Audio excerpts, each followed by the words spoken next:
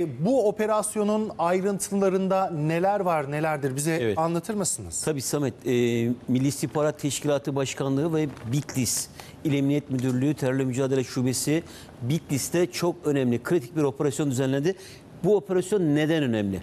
Çünkü DAEŞ'te terörist BK'nın BK'nın asayiş olayı görünümüyle sokakta kanlı eylem hazırlığında olduğu, hiç tanımadığı, hiç bilmediği kişilere bıçaklı, silahlı ve bombalı saldırı düzenleyip toplumsal huzuru, barışı bozma yönelik bir takım faaliyetler yürüttüğünü tespit edildi, takip edildi ve adresine yapılan operasyonda BK yakalanarak gözaltına alındı ve daha sonra adliye sevk, sevk edilerek tutuklandı. Peki bu neden önemliydi? Hani hatırlarsın Samet, e, Fatih Cami imamına bir bıçaklı saldırı olmuştu hatırlarsın.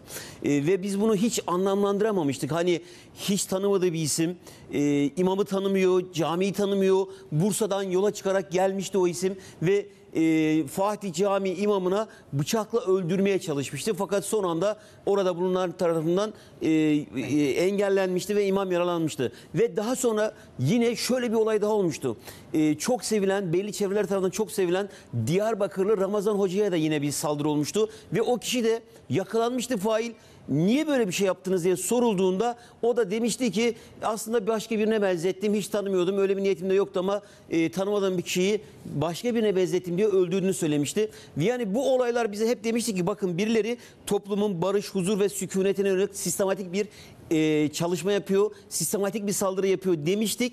Ve bu olay Bitlis'teki olay da işte DAEŞ'in, DAEŞ terör örgütünün Türkiye'deki bu toplumsal barışı bozmak için asayiş görünümlü, hiç tanımadığı insanlara bıçakla, silahla ya da bombayla saldıran eylem hücrelerini Türkiye'ye gönderdiğini, nasıl PKK'yı harekete geçiren bir güç var.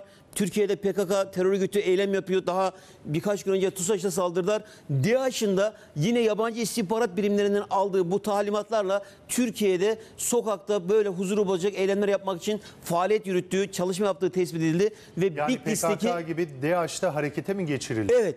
Yabancı istihbarat birimi yani Türkiye'deki toplumsal barış, huzur ve kardeşlik ortamını bozmak için Samet Güner DAEŞ terör örgütü de aynen PKK'da olduğu gibi harekete geçti ama bu eylemlerin özelliği şu. Asayiş görünümlü eylemler yapın, toplumda korku, kaos yaratın şeklinde bir talimat aldıklarını biz buradan görüyoruz. Bu anlamda da Milli İstihbarat Teşkilatı ve Bitlis Emniyetine bu anlamda kutlamak gerekir. Çünkü bu eylemi yapmak için keşif yapan ve böyle bir eylem hazırlığında olan BK isimli DAEŞ'li terörist kıskıvrak yakalandı ve tutuklandı Ahmet Güner. Bu tabii ki önemli. Bu tip operasyonlar devam edecek mi? Şimdi baktığımızda bu tip operasyonların perde arkasında önemli detaylar da Evet. var, önemli amaçlar da var. Şimdi güvenlik güçlerinin bu tür operasyonları peki devam edecek mi? Tabii ki Teyakkuz şu an tabii ki teyakkuz halinde 81 ilde DAEŞ'lı sokakta asayiş görünümlü eylem yapmak isteyen toplumun barışını, huzurunu ve toplumda korku iklimini yaymaya çalışan teröristler tek tek tespit ediliyor, operasyonlar düzenleniyor ve gözaltına alınıyor. Bitlis'teki bu olayın e, olması şu açıdan da önemli. Samet herkes diyordu ki ya Fatih imamına kim niye saldırır? Yani biliyorsun eylemci yakalanmıştı. Asayiş şubeye götürülmüştü. Olay bir asayiş olay olarak değerlendiriliyordu ama ne hikmetse sorgusunda da kendini kilitlemişti ve asla bu eylemi neden gerçekleştirdiğini söylememişti. Buradan da anlıyoruz ki e, DAEŞ terör örgütünün asayiş eylemi görünümle eylemler yaparak toplumda korku iklimini yaymaya çalışacağı ama güvenlik kuvvetlerinin Milli İstihbarat Teşkilatı Başkanlığı'nın ve emniyet birimlerinde bu alanda dikkatli ve teyakkuzda olduğunu görebiliyoruz. Şimdi Nihat Ulu izleyicilerimiz için de hatırlatalım. İstanbul'da da DAEŞ silahlı terör örgütü bünyesinde Ahitler adı altında illegal bir yapı kurduğu da tespit edildi. Şimdi DAEŞ'lıların bu gibi yapılanmaları nasıl yapıyorlar, nasıl kuruyorlar bu yapılanmaları onları da açıklar mısın? Yani toplumun içine kamufle edebilmek için, toplumun içerisinde rahat rahat hareket edebilmek için ve dikkat çekmemek için bir takım sivil toplum örgütü görünümünde toplumun içine sızabiliyorlar.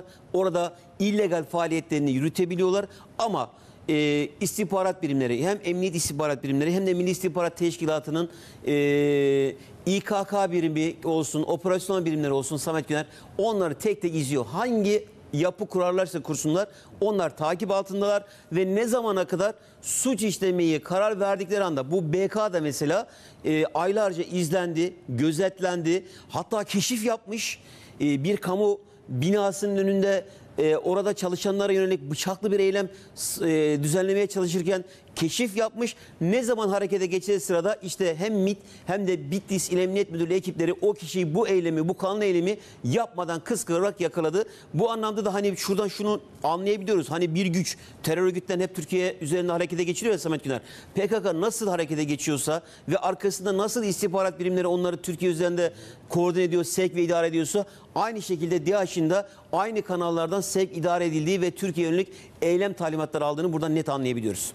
Teşekkür ederiz. Nihat Uludağ detaylı şekilde aktardın ama bu terör algısını, teröristlerin yapmak istediği huzuru bozma algısını, çalışmalarını bu şekilde emniyet ve MİT ekipleri bertaraf ediyor. Biz de biraz dirayetli olmamız gerekiyor. Evet. Belki de hatırlatmamız lazım.